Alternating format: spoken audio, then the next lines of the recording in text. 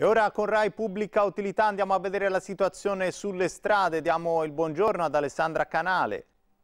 Grazie, buongiorno della linea Jacopo, grazie della linea, traffico vivace lungo le direttrici che conducono verso i principali centri urbani della nostra regione per i consueti spostamenti pendolari del mattino con l'inizio delle attività lavorative scolastiche, in particolare in direzione Firenze dove già si registrano dei rallentamenti in centro città. Come di consueto monitoriamo in real time le immagini che ci giungono in diretta dalla 11 all'altezza di Osmannoro, Sesto Fiorentino, come vedete eh, ci sono anche dei rallentamenti che partono da Prato, ovest in direzione del bivio della 1 Roma eh, Milano. eh, l'altro tratto che monitoriamo è la 1 all'altezza di Firenze Scandicci, come vedete anche qui flussi veicolari vivaci in entrambe le carreggiate, ma inizio nel comunicarvi che ci sono grosse criticità a seguito di un incidente eh, sulla 12, la Genova-Rosignano ed è stata disposta la chiusura dell'uscita di Colle Salvetti dove peraltro eh, si è verificato questo grave incidente con coinvolgimento di un camion.